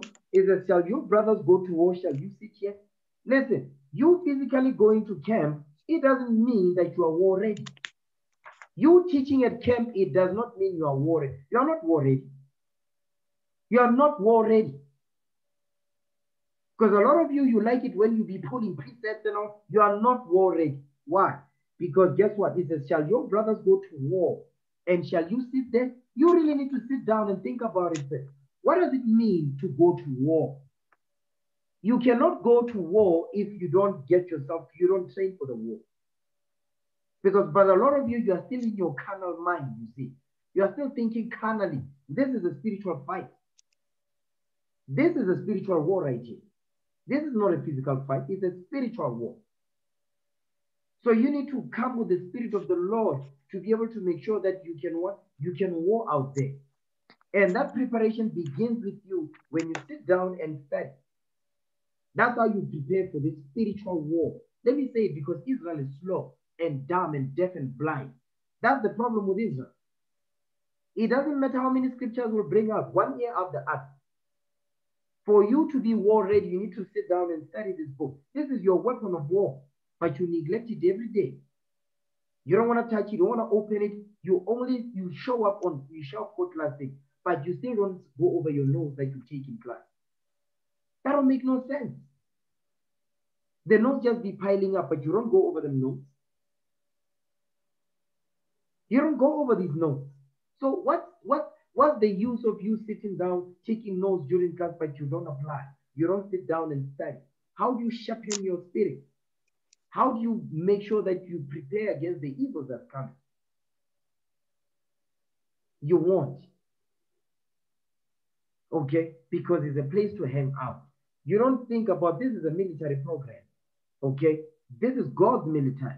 The greatest elite military program on earth, the army of the Lord. God's army. That's what we are forging in, in the spirit of Christ. Okay? When the Lord returns, there's no, I didn't know. No. You had the Bible with you the whole time, but you didn't study it. So on that day, you are who you are. But some of you, you are, guess, guess what? You just playing with this grace period. Like that's why I said, you are still in, moving in the spirit of Christianity. I've got grace. I've got grace. So I don't gotta do nothing. You don't remember, you can pull a precept in Titus 2 and say grace teaches us to deny godliness, but you are playing with this grace that you say you know what it's about. That's why I'm saying Israel is crazy. Israel is bugged out. Okay? Read that verse again. Numbers chapter 32, verse 6. And Moses said unto the children of Gad and to the children of Reuben, Shall your brethren go to war and shall ye sit here? Go ahead. And wherefore discourage ye the heart of the children of Israel from going over into the land which the Lord has given them? You see what the Lord is saying right there? Because this whole thing is spiritual. Because I know those who study, I know those who don't. And I can tell. I can tell who studies and I can tell who does not. I'm not getting on the sisters because I sisters, they've got issues. I'm dealing with you men. I know who studies. Listen, one, you know what I've noticed also? I've noticed brothers when they realize that they are behind, they be just be posting a lot of questions just to try to confuse me. Because you think you can go, I can see through the BS. Hmm, this one is just trying to make it seem like they're studying. I can see that. Okay. Now you be you be reading, right? So you cannot be sending me questions regarding eight chapters. That's crazy. Now, because you are trying to catch up, it as you are reading, you come up with questions, you say, hmm, okay, chapter one, let me do a summary. Because a lot of you don't do that. You don't do a summary of the chapters you read. You just you just ready to move on to the next one. So that you can say, okay, I did my four chapters now, close the Bible, to hell with the book, let me do my own thing now. That's the mindset with a lot of you. It's like something you tick on a paper. Mm, I did four chapters today. And guess what? When the Bible closes, you forget everything that you've learned. You don't remember nothing. Because your spirit is not in this. Okay, you are not here. You are somewhere else. I'm not begging nobody to be here. I'm not going to beg you to be here. I'll pray for the laborers that the Lord will send up in here. And the Lord will send laborers into this vineyard. Understand that. With or without you, the mission is a go. We're going to get this work done. We want to go home. Tired of being enslaved. Okay? Tired of looking at Esau's dumb and stupid face. I don't want to see the white man's face no more. I don't want to see the Arab's face no more, except in the kingdom. Okay? But a lot of you, that's not your thinking. You don't move like that. We want to get up out of here. That's why we have to do the work. Study to show yourself approved unto the Lord. We have got work to do. Now we're supposed to spread out. How are we going to spread out when you brothers are are simps? How can you spread out when you are? I'll not spread nobody because you are still simping. I need you men to study. Okay. Go back to Deuteronomy 1, verse 22. Deuteronomy chapter 1, verse 22.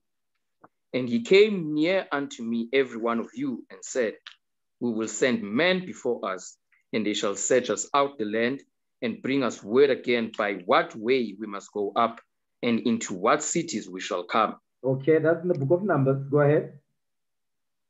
And the saying pleased me well. And I took 12 men of you, one of a tribe. And they turned and went up into the mountain and came unto the valley of Eshcol and searched it out. And they took of the fruit of the land in their hands and brought it down unto us and brought us word again and said, It is a good land which the Lord our God doth give us. That good land, you talk about the land of Israel, the land that flows with milk, with milk and honey, which is the glory of all lands. Go ahead.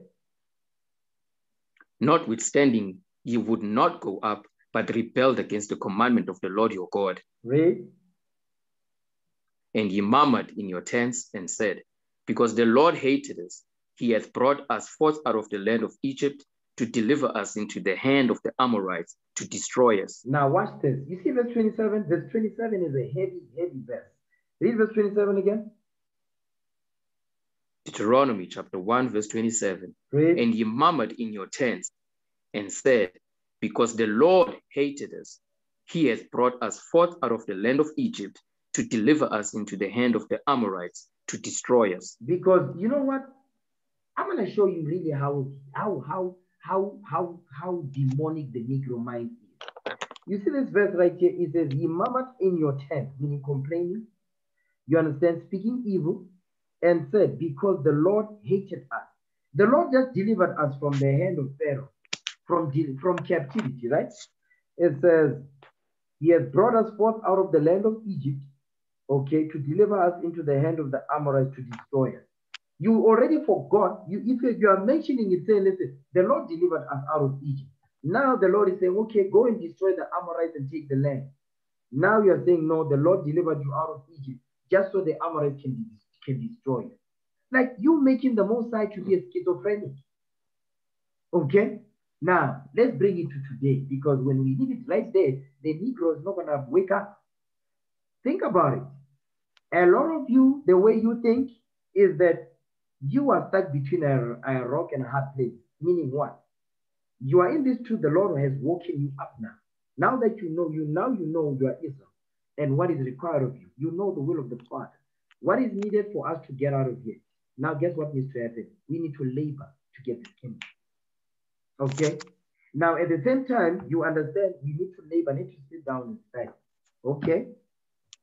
Then you're also thinking, you know what? When I look at the work that needs to be done, when I look at the fact that I actually have to sit down and study this book, and I don't want that, here's the thing. You you are here, you you don't want to study, but at the same time, it's cool to be an Israelite. But guess what? Your mind is not is out there. At the same time, you are regretting. It's like, Ish, I wish I didn't know this. I wish I didn't know this. At least I'll still be in my ignorance. I wouldn't really know what's going on. So it's like it's a bittersweet. It's bittersweet. On one end, you know you're Israel. There's the bitterness is the fact that now you have to sit down and study. One, two, you have to examine yourself, get rid of your evil, get rid of your hang-ups, get rid of the sins, the lust that you are dealing with. That's work, that's labor, and that's a daily thing. 24 hours a day, you have to be in the spirit. And that takes work, that takes discipline, that takes rehearsal. A lot of you don't want to do that. You want the benefits, but you don't want to work to get those benefits. So now you are stuck. You are stuck. It's like when we go to camp, you see, you see brothers and sisters, they be listening, and a lot of them, you see, they want to leave, but they can't.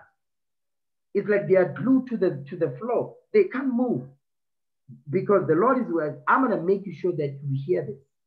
And yes, you want to go, but you can't. The word is keeping you here. By the time you leave, now the Lord is uh, now you are thinking to yourself, you know what? I wish I didn't stop. Why did I stop there? And now, guess what? Those people out there that are not in this truth yet, but they've heard it, you are the, you are moving the, in the same spirit as they are.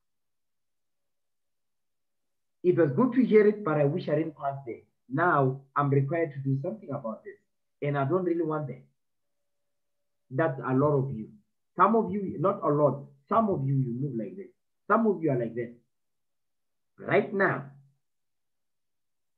you are like that brother or sister that comes to camp is like the Lord is, is, is nailed them to the floor, to the ground. They can't move. Some of you, that's you. Nah, that's heavy right there. Read verse 27 again. Deuteronomy chapter 1, verse 27.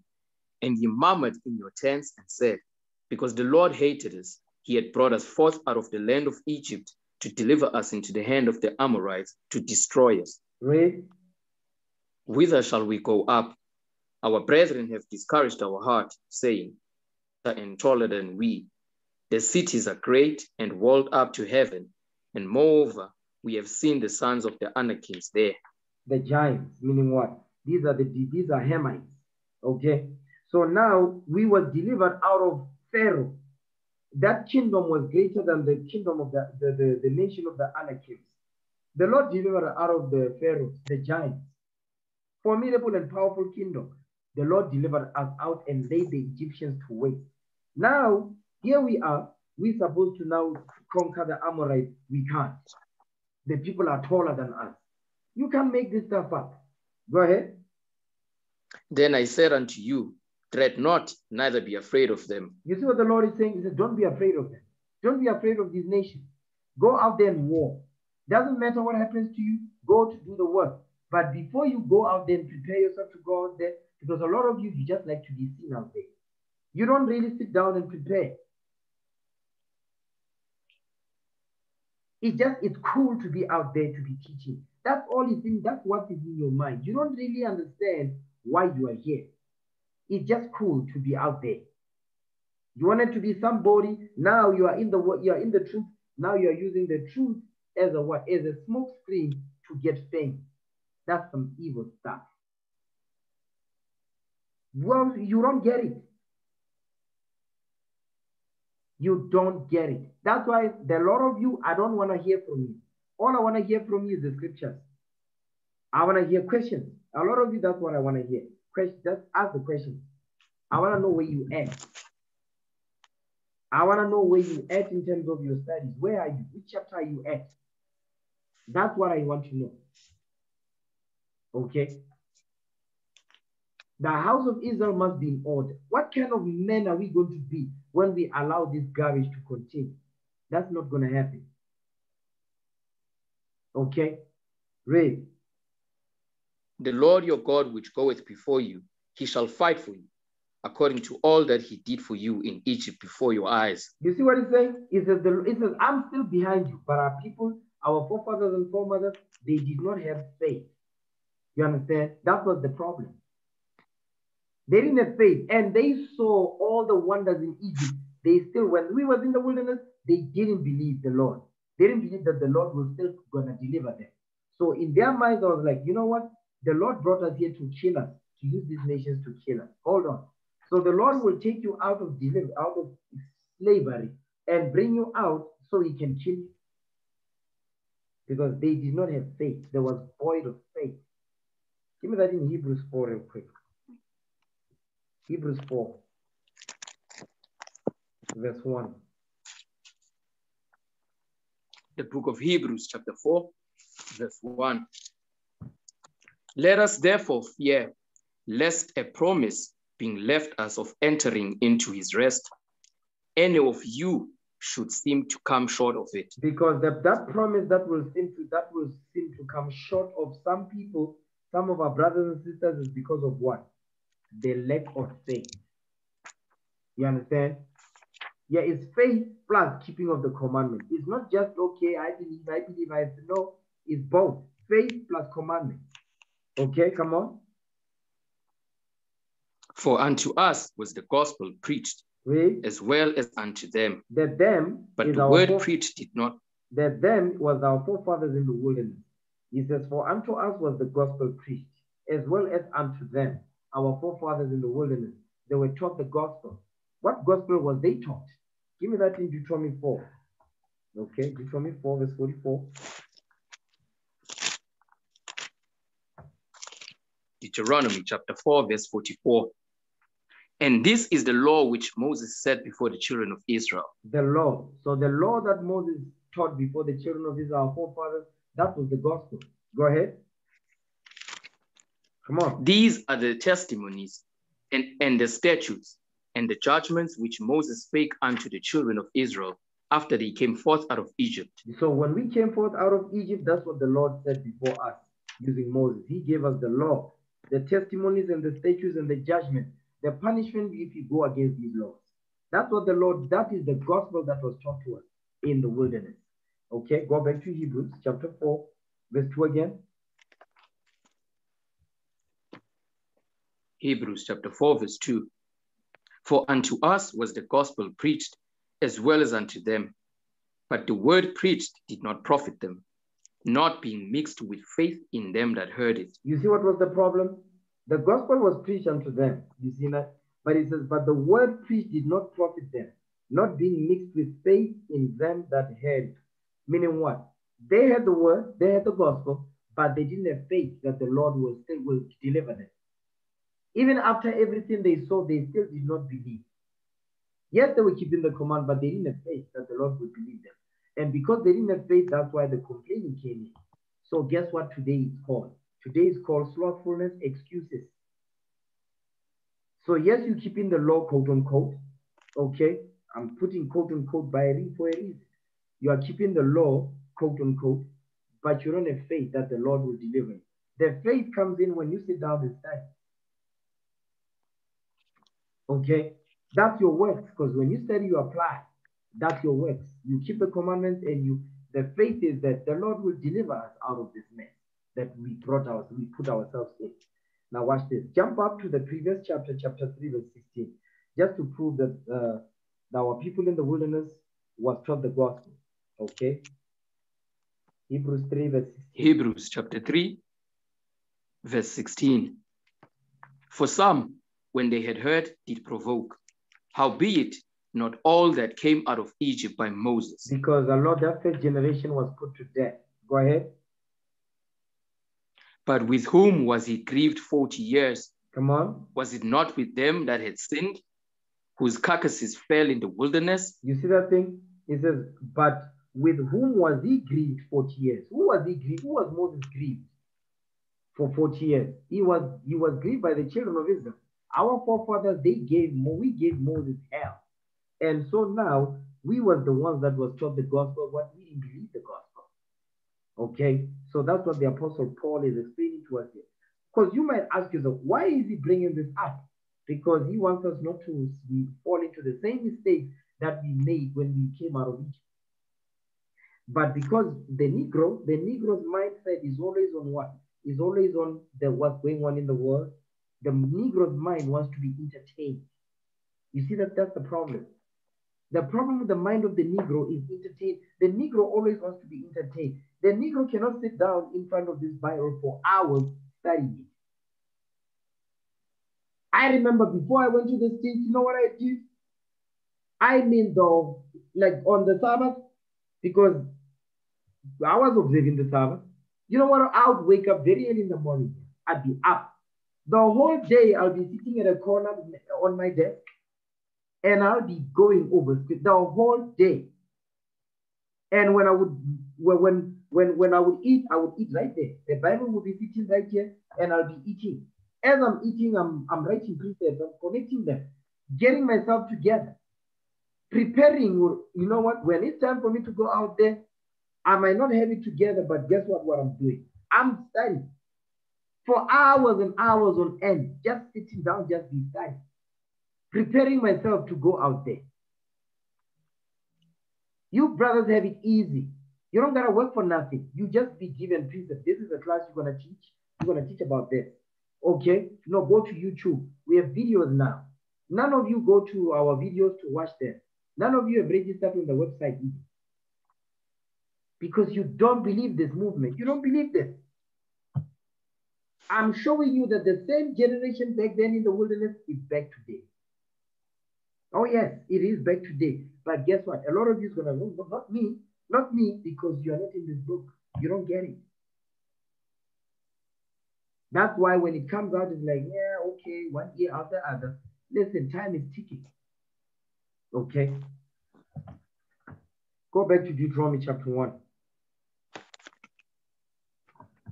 Deuteronomy chapter 1 and verse, read verse 31.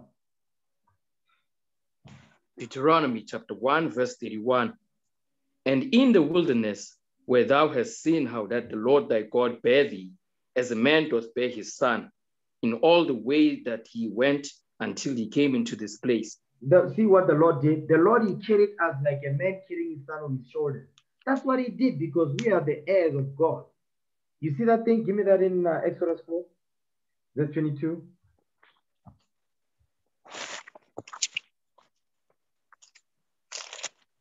The book of Exodus, chapter 4, verse 22. And thou shalt say unto Pharaoh, Thus saith the Lord, Israel is my son, even my firstborn. You see that? We are God. We are the heirs of God. Okay? Go back to where was that now? You told me one, verse 31 again. Deuteronomy chapter 1, verse 31. And in the wilderness, where thou hast seen how that the Lord thy God bare thee, as a man doth bear his son, in all the way that he went, until he came into this place. The wilderness. The Lord brought us out of Egypt with a mighty hand. Go ahead. Yet in this thing ye did not believe the Lord your God. You can make this stuff up. Yet in all of this that the Lord did, we did, we, he says, you still don't believe. You are still doubtful. With all the wonders that you've seen with your with your naked eye, you still don't believe what the Lord is saying. So it is today. And guess what? Back then, our people, our forefathers and foremothers, they didn't have Facebook, they didn't have Instagram, they didn't have Twitter, they didn't have YouTube, okay? They didn't have Google. There was no internet. So now you have to really understand that they were distracted back then because of their lust. You understand? That's why the Lord, He gave them, they said they wanted flesh, He gave them flesh, and they devoured it. And guess what? The, the anger of the Lord was kindled against them. Okay, now here's another one. So, guess what? Today, you see how many distractions are in the world right now? So many distractions, right? There's a lot of distractions now. The women are half naked, brothers becoming gay. You can sleep with whoever you want.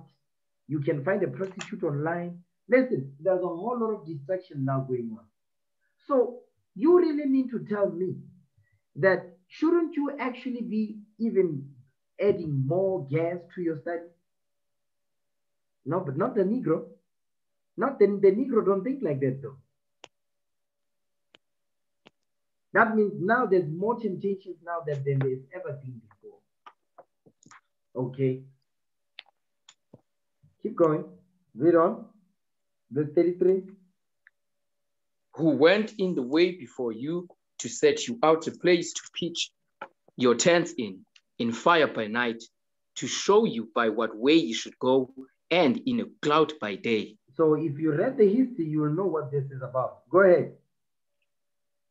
And the Lord heard the voice of your words, and was wroth, and swore, saying, Surely there shall not one of these generation see that good land which I swear to give unto your fathers. You see what the Lord is saying? He says, because you don't believe, listen, you are, I'm going to put all of you to death.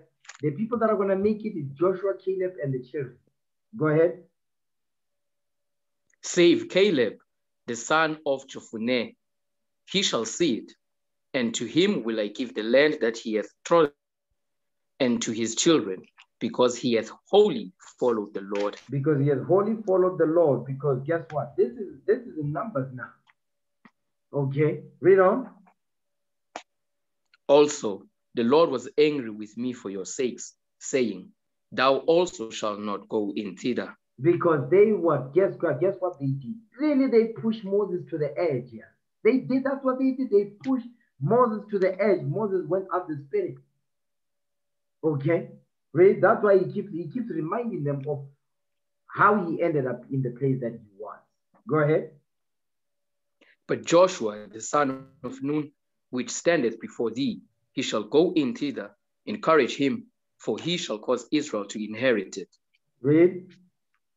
Moreover, your little ones, which ye said should be a prey, and your children, which in that day had no knowledge between good and evil, they shall go in thither, and unto them will I give it, and they shall possess it. You see what the Lord is saying? He said, You Negroes, you are not going to see the promised land, but I'm going to take your children. Your children that we cannot even discern, they have no knowledge of good and evil and so forth. They are going to enter into, they are going to enter in, and they are the ones that are going to get the promised land. So, because somehow, some crazy way, the mind of the Negro thinks, nah, this is just fairy tales. the Lord is not coming. Yeah, I hear they, yeah, I can see they're reading it and all, but yeah, I don't really see that. But you won't say it out loud. I don't really see that. Now we're gonna go back to the wilderness. Yes, we're gonna go back to the wilderness again, where the Lord says, "I'm gonna take out of from your among you the rebels." Then, um, then I'm gonna teach you again. Then you're gonna enter into the kingdom. But guess what?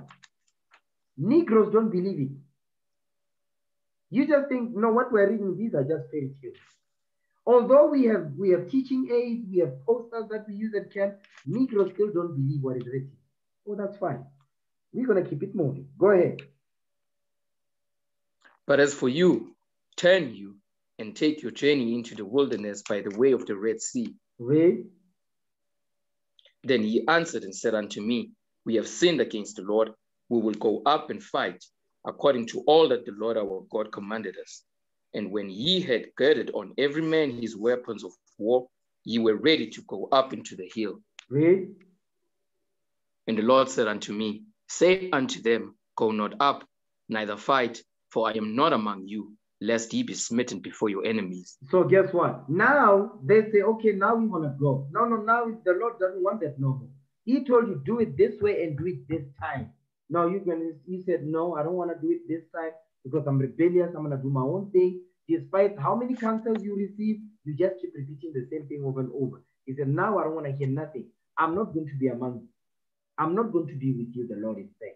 Read. So I spake unto you, and you would not hear, but rebelled against the commandment of the Lord, and went presumptuously up into the hill. You see that thing? Meaning what? Self-will. They decided, no, we're gonna go anyway. Read.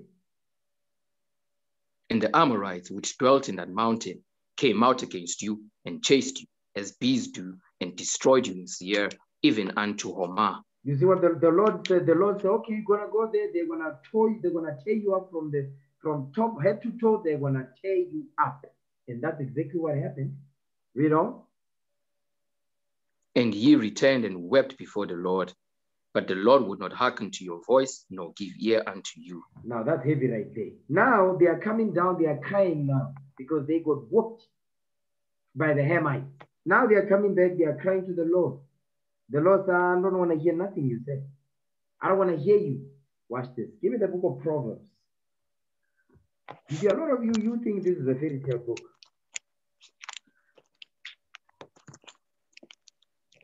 Proverbs chapter 1. Start at verse. Start at verse 23. No, start at verse 22. We're going to read down. The book of Proverbs, chapter 1, verse 22.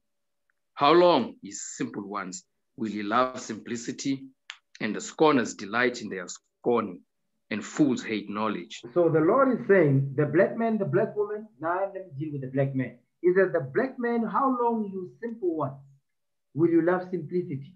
How long are you going to be in la la land, just acting down? The Lord is asking. Why? is says, because scorners delight in their scorning and fools hate knowledge, order, structure, sit down, study. A fool doesn't want to do that. Okay, go ahead. A scorner and a fool, they don't want to do that thing. Ten, You understand? A scornful man and a foolish man, they don't want to do that. Okay, go ahead. turn you at my reproof. Behold, I will pour out my spirit unto you. I will make known my words unto you. So now the Lord is promising us, say, listen, I'm going to pour my spirit unto you. I will give you the understanding that is written in the scripts. Next verse. Because I have called, and he refused. I have stretched out my hand, and no man regarded. That you know what this is talking about? Counsel. You receive counsel, study, study, be consistent, put a timetable, be consistent in your study. No, you don't do it. You always have to redo your timetable all the time. Who does that? A scornful man and, and foolish man. Okay, go ahead. But ye have set at naught all my counsel, and would none of my reproof. Read. I also will laugh at your calamity. I will mock when your fear cometh. That's what we just read in Deuteronomy 1, verse 45. It says, Because you don't want to listen to the counsel that's coming out, it says, I also will laugh at your calamity. I will mock when your fear cometh. Because when you're supposed to receive the instruction, the correction, the counsel, the guidance, do this, do don't do this, do this, you decided, no, you know better, you know too much, you're going to do your own thing. So now judgment cometh. The Lord said, I'm going to laugh at you now. Okay, come on. When your fear cometh as desolation, and your destruction cometh as a whirlwind, when distress and anguish cometh upon you, Read. then shall they call upon me, but I will not answer. They shall seek me early, but they shall not find me. You see what the Lord is saying? He says, On that day when you come crying to me, I'm not going to hear nothing you say. I'm going to ignore you. That's what the Lord is saying. Read. For that they hated knowledge and did not choose the fear of the Lord. He says they hated knowledge and don't choose the fear of the Lord. The knowledge that we're talking about is what we read in verse 22. Okay? Scorners delight in their scorning and fools hate knowledge. He says, Because you hate my knowledge, you hate my instruction, my reproof, my counsel. guess what? When you come to me, I'm not going to hear nothing. And on that day, you'll be judged. The Lord not going to hear nothing you say. Okay, come on. Verse 31, verse 30 now. They would none of my counsel. They despised all my reproof. They despised all my reproof. Go ahead.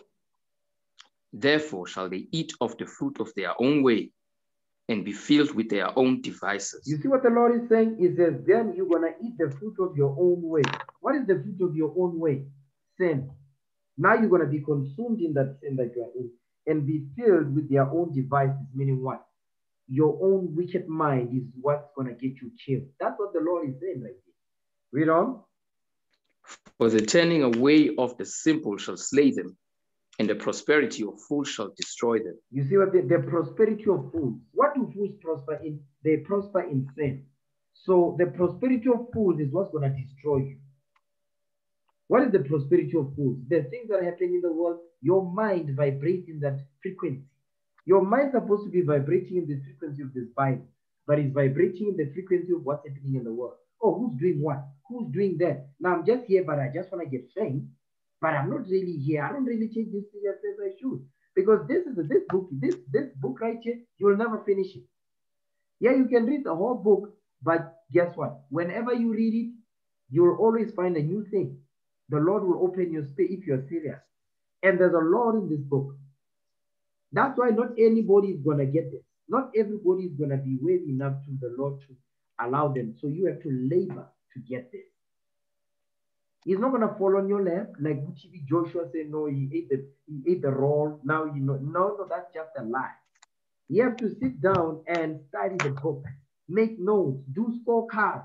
Yeah, listen, it's a whole shebang. This is a school. But when it comes to ESO stuff, you will sit down and study. You will sit down and make sure that you get your stuff done when it comes to ESO. What ESO wants, you don't listen. They nobody has there to tell you. You know exactly what to do. You know the amount of hours that you're gonna put in to do it. When it comes to this, guess what? It's always the back seat. Hmm. Keep going. Verse 32. For the turning away of the simple shall slay them, and the prosperity of fools shall destroy them. Read. But whoso hearkeneth unto me shall dwell safely, and shall be quiet from fear of evil. Because guess what? You know that you are keeping the commandments.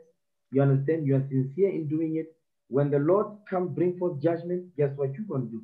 The Lord will deal with you according to his mercy. He's not going to be harsh. Okay? Watch this. Let's go back. Deuteronomy chapter 1. Verse 45 again. Deuteronomy chapter 1, verse 45. And he returned and wept before the Lord, but the Lord would not hearken to your voice, nor give ear unto you. Read. So he abode in Kadesh many days, according unto the days that he abode there. So now I'm going to end the class right here. I'm going to end it right here, right here. Okay. I'm still, there's more classes are coming on this. 23, let's break bread. In the honor of our Lord and Savior the Christ. For I have received of the Lord that which also I delivered unto you, that the Lord Jesus, the same night in which he was betrayed, took bread. And when he had given thanks, he brake it and said, Take, eat. This is my body, which is broken for you. This do in remembrance of me. After the same manner also he took the cup when he had supped, saying, This cup is the New Testament in my blood. This do ye as oft as ye drink it in remembrance of me. For as often as ye eat this bread and drink this cup, ye do show the Lord's death till he come. Wherefore, whosoever shall eat this bread and drink this cup of the Lord unworthily shall be guilty of the body and blood of the Lord. But let a man examine himself, and so let him eat of that bread and drink of that cup. For he that eateth and drinketh unworthily eateth and drinketh damnation to himself, not discerning the Lord's body. For this cause many are weak and sickly among you, and many sleep. In the name of our Lord and Savior Jesus Christ, we pray. Amen. Let's give the Most High hand for that class. All praise to the Most High.